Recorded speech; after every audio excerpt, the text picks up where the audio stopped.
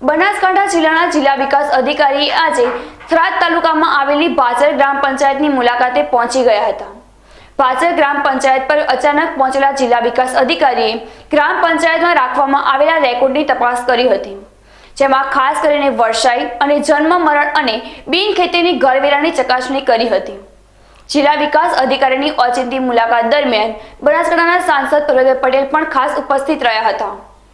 ગ્રામ પંચાયતની મુલાકાત બાદ જિલ્લા વિકાસ અધિકારી ગામમાં ચાલી રહેલા વોટર શેડના કામકાજ અને તળાવ ઊંડા કરવાની થઈ રહેલી મુલાકાતને લઈ પાછળ પ્રાથમિક આરોગ્ય કેન્દ્રની મુલાકાત લીધી હતી. થરાદમાં આવેલું બાસર ગામ બનાસકાંઠા જિલ્લાના સાંસદ પરબતભાઈનું વતન છે. અને પરબતભાઈ પટેલ અત્યારે પણ આ જ ગામમાં રહે છે.